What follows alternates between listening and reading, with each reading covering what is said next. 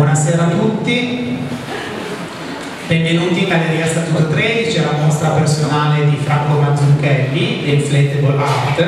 Ne approfitto subito per fare una comunicazione di servizio per avvisarvi che questa è l'ultima mostra della stagione di Statuto 13, poi ci rivedremo il 7 settembre con la mostra di Lentini Stati d'Italia, quindi ne approfitto proprio per augurarvi.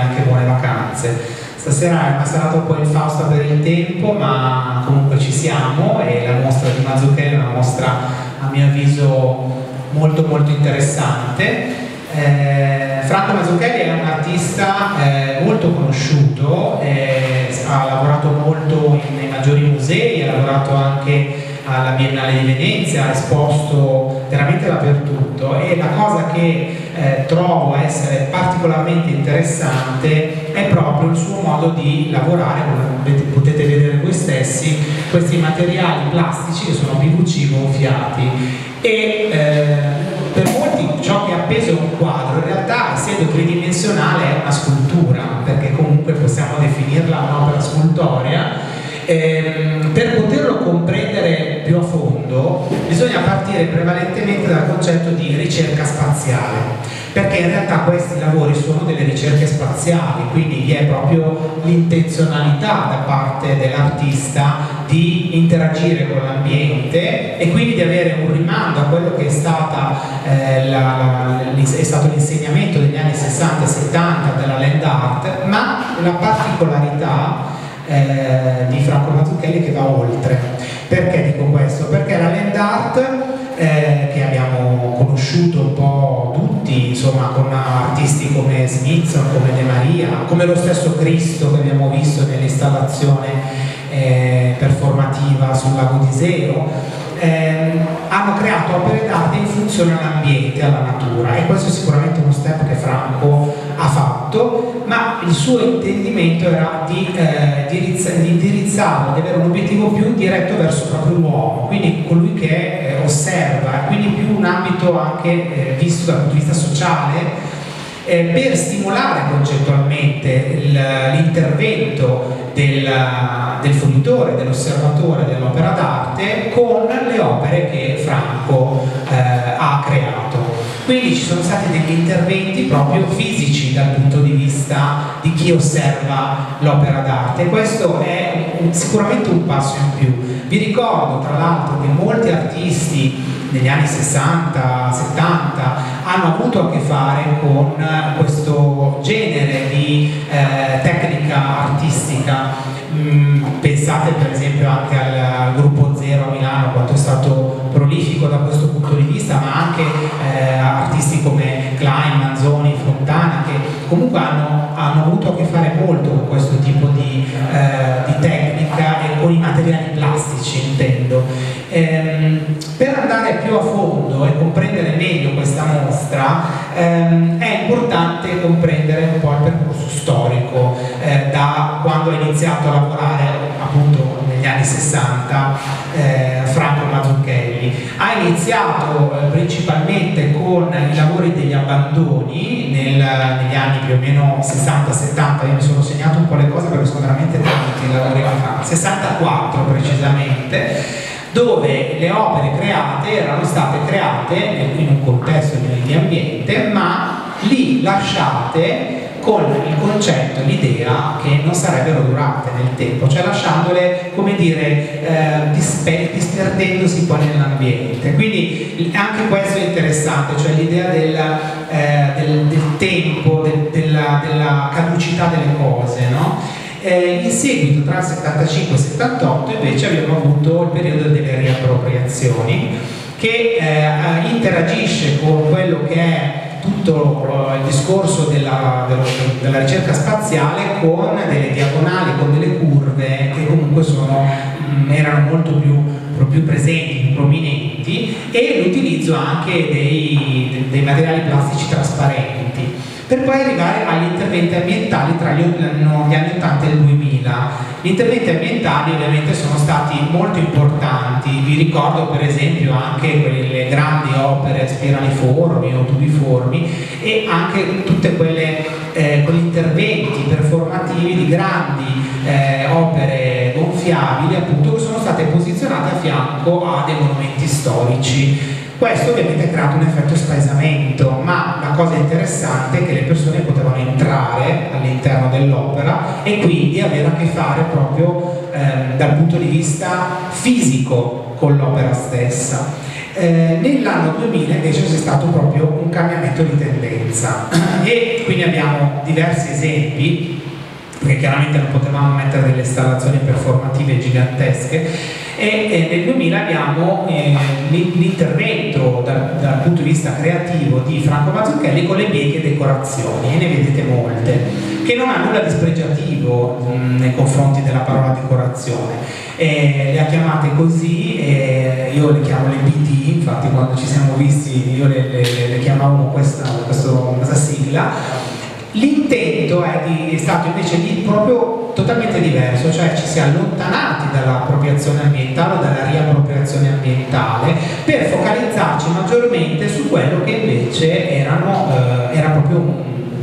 un, obiettivo di puro godimento estetico, quindi eh, più improntato alla decorazione e nell'arte, con opere più piccole e ovviamente si può sottintendere o sottendere anche una sorta di critica verso la mercificazione dell'arte, quindi c'è proprio anche una concettualità in questo, in questo agire. Poi si arriva agli AOM che eh, vediamo presenti in galleria sia sotto eh, il subpalco ma anche alle mie spalle e anche in altri punti, quindi AOM sta per Art on Art. Quindi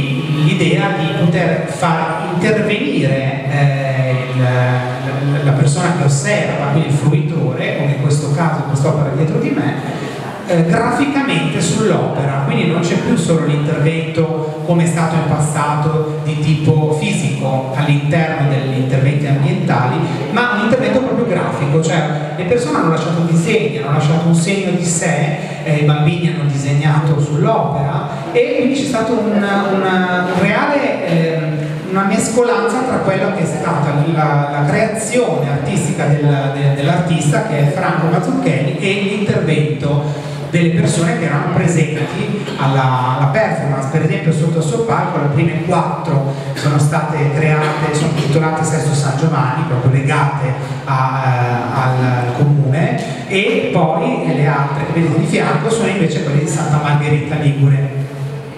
Eh, peraltro questa alle mie spalle è stata esposta anche a livello museale, se non sbaglio al Museo Messina. Infine, proprio recenti, abbiamo i REC, che invece sono dei veri e propri recuperi di materiali plastici di opere d'arte che vengono rivitalizzate con nuovi interventi effettuati da Franco Mazzucchelli. Quindi la particolarità che volevo farvi notare è proprio il fatto della capacità di reinventarsi in maniera continuativa e una forte, una profonda innovativa nel corso di tantissimi anni e questa non è una cosa sempre comune nell'arte. Se noi pensiamo appunto a come eh, hanno utilizzato i materiali PVC e plastici gli artisti del passato, delle avanguardie, anche appunto di cui abbiamo parlato poco fa qui a Milano, eh, possiamo pensare quanto realmente questi interventi siano poi eh, stati ovviamente pionieristici da parte loro, eh, che hanno proprio creato una tacca nelle avanguardie nella storia dell'arte, quindi questo ovviamente è, è una nota di merito notevole perché comunque è stata una vera innovazione. Ma attualmente ci sono artisti che ancora lavorano riprendendo queste tematiche ma soprattutto queste tecniche lavorano con materiali plastici gonfiabili PVC faccio come esempio mi viene in mente Anish Kapoor che conosciamo essere un artista a mio avviso geniale, indiano, naturalizzato britannico che ha fatto anche interventi in tutto il mondo a livello anche di metalli ma ha lavorato moltissimo il PVC oppure anche Paul McCartney, mi viene in mente, che è esposto proprio in via Brera un po' di anni fa in un antico palazzo che fortunatamente stanno ristrutturando eh, e all'interno vi erano comunque delle installazioni eh, che eh, utilizzava, dove lui ha utilizzato il PVC, materiale plastico e comunque ha utilizzato anche questa tecnica del, del gonfiabile. Eh, anche lo stesso Jeff Koons, per esempio, oggi come oggi, pensate ai grandi eh, cani, animali che lui crea così eh, con questa stessa tecnica. Quindi questo per far comprendere che effettivamente c'è stato un prosieguo, una ehm, rivisitazione secondo declinazioni e creatività diverse, ma che poi in realtà eh, i veri pionieri sono stati proprio loro e Franco è sicuramente eh, Milano uno dei più riconosciuti, se non il più riconosciuto proprio per questa tecnica. Eh, volendo pro proprio eh, riferirci a quel concetto di innovazione, che secondo me appunto è molto importante, ehm, io trovo che sia spesso collegabile al concetto di tempo. E eh, per eh, concludere un po' questa breve presentazione dei tuoi lavori, eh, ho voluto proprio riportare una frase di Jean Cocteau che parla proprio di questo e che trovo molto attinente con, con l'innovazione che tu hai portato nel tuo, nel tuo, creare, nel tuo operare nel mondo dell'arte. Jean Cocteau conoscete, insomma è stato un grande drammaturgo, scrittore, si è occupato di letteratura, di arte, soprattutto nella seconda metà del secolo scorso e ha proprio parlato di quello che è l'idea della novità nell'arte. E diceva quando un'opera d'arte sembra in anticipo sul suo, sul suo tempo è vero invece che il tempo è in ritardo rispetto all'opera. E io trovo che questo ti faccia molto riflettere, perché è vero che è un concetto filosofico, ma è anche vero che è molto eh, collegabile a ciò che ha a che fare nel mondo dell'arte con la, il collegamento col concetto del tempo, cioè l'arte sembra possa anche scalfire o cambiare in maniera elastica il concetto del tempo, quindi a volte le innovazioni che sono molto eh, anticipatorie, come nel, caso del lavoro che tu hai fatto, sembra quasi che portino il, il, tempo ad essere in ritardo, quindi sembra un paradosso, però trovo che come epilogo per spiegare proprio questa, questa, questa innovazione che comunque usando poi le parole non mie ma di Cocteau ehm, possa essere giusto epilogo per lasciare poi spazio ovviamente alle persone questa sera di conoscerti e di parlare anche dei tuoi futuri progetti perché ce ne sono diversi. Vi ringrazio, ci rivediamo poi a settembre e vi lascio a Franco e i suoi lavori. Grazie a tutti.